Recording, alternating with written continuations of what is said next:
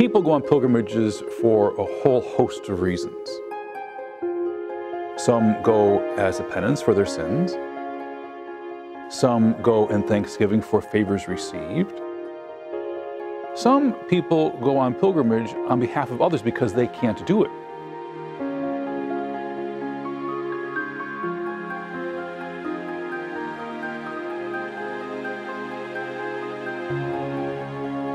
Christians have been going on pilgrimages for almost 2,000 years.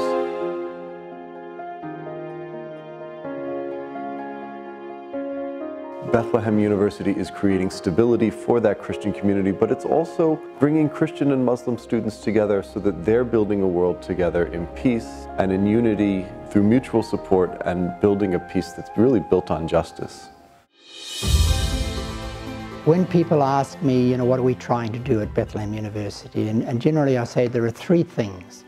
The first is we want to be an oasis of peace uh, for our students so that they know they're safe and cared for there. Secondly, to keep hope alive. So one of the things that we want to be is a beacon of hope for our students. And the third thing is that, uh, you know, we're, we're, an educational institution, so we want to be a, a provider of quality higher education. As a Palestinian refugee myself, I have a special appreciation for the work that Bethlehem University is doing for young Palestinians. I understand firsthand the importance of education as an opportunity for a better life. I have been thinking a lot about how to show my support for education as well as for a peaceful Palestine. I wanted to do something fun and exciting. I wanted to do something that will bring attention to Bethlehem University and the work they're doing. I also wanted to do something special. So in thinking about all of this, I decided the best way for me to raise awareness about Bethlehem University is by walking the Camino de Santiago. Not only will this raise awareness for Bethlehem University, but it will also raise awareness for the Bethlehem University Foundation and the work they are doing in the US and around the world. My goals for this campaign are simple.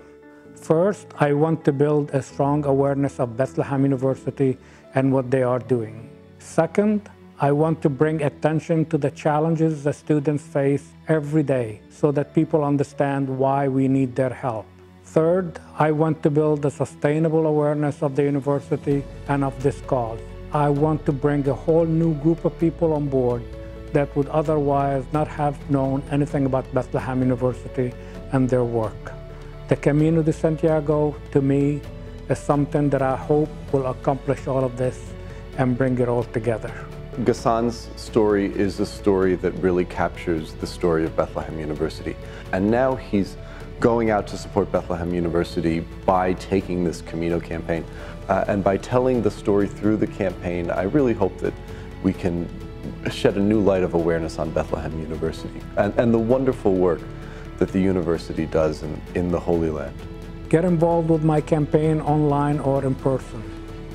Come walk with me on the Camino. Follow me online. Donate. Offer your support in any way you can think of. The most important thing is to get involved.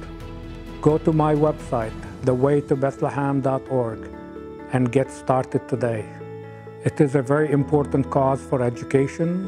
It's a very important cause for the youth of Palestine, for the preservation of Christianity, and for peace in the region.